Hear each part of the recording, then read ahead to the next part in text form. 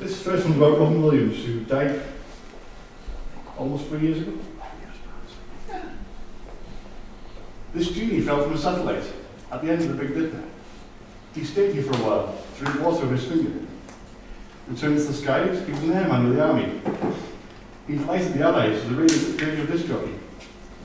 On the second star to the right, and straight on till morning, this pan glistened too bright to find it morning.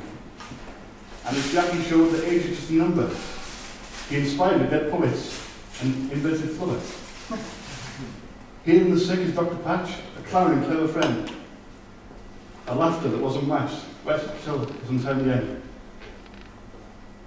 And so he has returned to his planet in the sky. I had to raise my head to look, but I choked on the goodbye.